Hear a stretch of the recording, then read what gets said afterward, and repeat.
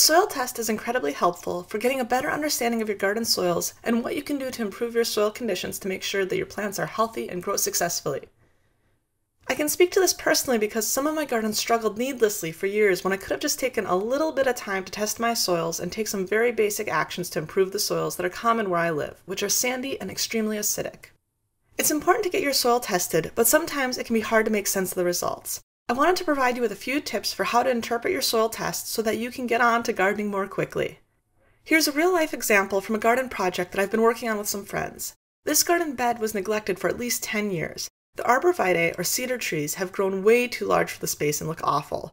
The burning bush shrub is overgrown, and the remainder of the bed consists of a few lilies, weeds, and some trees that have actually started growing into this space. Here's what the space looks like after the trees were cut down and turned into mulch, the tree stumps were removed, and the shrubs and plants were weeded out. It was at this point that I mailed the soil test to my state university extension office. Each state extension service or private soil lab provides soil test results that will look a little bit different, I got an email with the soil test results about a week after I mailed them in, and I'll share some of the highlights to help you understand what you're looking at. The lab will often provide contact information for you to ask questions as well. If it does, don't be shy in contacting them. The more you learn about your garden soils now, the better your garden will become over time. The first thing that I looked at was the soil type, which in this case is a loamy sand. This means that the soil is primarily a sand, but that it has some silt and clay mixed in as well. The pH, which measures acidity, is 6.4. This is good because most garden plants do best in a soil that is about 6.5 to 7.0 and near neutral. If the soil was acidic and had a pH less than 6.0 or 6.5, we would likely need to add lime to the soil in order to neutralize that acidity. If the soil was alkaline and had a pH greater than 7.5, an acidic material like sulfur could be added to lower the pH to a more desirable level. Soil tests often come with recommendations for how to add amendments to improve soil pH. The soil in this garden contains slightly more than 5% organic matter, and a value around 5% is considered very good. Given that the soil is sandy, this organic matter is important for helping the soil retain moisture. After a rain, that organic matter will soak water up and hold on to it like a sponge. If the organic matter level was lower, we would be looking to add compost or manure to increase the amount of organic matter in the soil. While no major additions of organic matter are necessary in this situation, the garden soil will still benefit from adding a bit of compost to provide additional organic matter and nutrients to the soil. Mulching the garden after it is planted will provide some material that will eventually decompose and become soil organic matter as well. The soil test also contains some information about different soil nutrients. If you have concerns about specific micronutrients, you can often pay an extra fee for a more complete analysis. This test only provided basic information.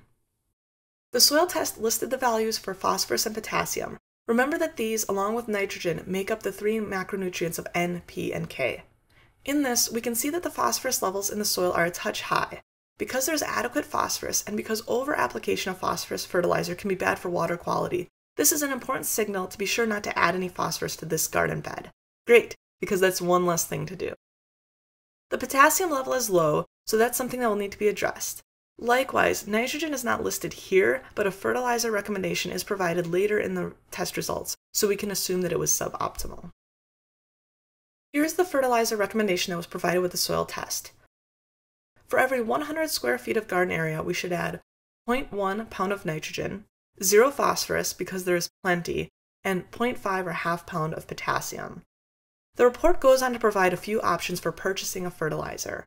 Under option 1, if we could find a prepackaged fertilizer with a 5020 on the package for NPK, we could apply 1.5 pounds of that fertilizer to every 100 square feet of the garden.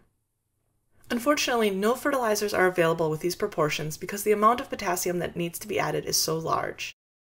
This is when we had to break out the calculator. We decided that we could apply two different soil amendments. We selected blood meal to provide the necessary nitrogen and green sand to provide the necessary potassium. We didn't need to add any phosphorus to our soils, but if we did, we could have used a material like rock phosphate. We needed a tenth of a pound of nitrogen for 100 square feet according to our fertilizer recommendations. However, since blood meal only contains 12% nitrogen and the remainder is other materials, we need to apply a greater amount of blood meal. When we do the math, it turns out that we need 0.83 pounds of blood meal for every 100 square feet of garden area. We can do similar calculations for the potassium. The fertilizer instructions say to add a half pound of potassium for every 100 square feet. Since the green sand contains 3% potassium, we'll need to apply 16.7 pounds of green sand to every 100 square feet of the garden. That's a lot of green sand. It would be okay to split that addition into two or three additions over the course of a year. Additionally, because green sand is a mineral source of potassium, it'll probably take several years for much of the potassium to be integrated into the soil and become available for plants. We measured the garden space and estimated that's about 365 square feet in area. That means that we need to apply approximately 3 pounds of blood meal and 61 pounds of green sand. Our soil test also came with a compost recommendation. Remember how I said that it's good to add compost even if you have a good amount of organic matter? If you are planning to add a substantial amount of high quality compost to your garden soil, the instructions say that you could reduce your fertilizer needs. In this case, it states that we could reduce the amount of fertilizer that we plan to add by 10% if we also apply compost. I hope that this was helpful, but if you're still feeling confused, you shouldn't be afraid to ask for help in getting recommendations for what to do in your garden. First, look to see if the university or lab that did your soil testing provides contact information for asking questions about your soil test. I know that when I received my soil test, I also received an email from a university soil scientist checking to see if I had any questions. If that doesn't work, do some online searches related to soil testing in your region to see if resources are available where you live. Or look to see if you can find a local group of master gardeners or a garden club because those individuals will be able to point you in the right direction and provide you with all sorts of information and advice.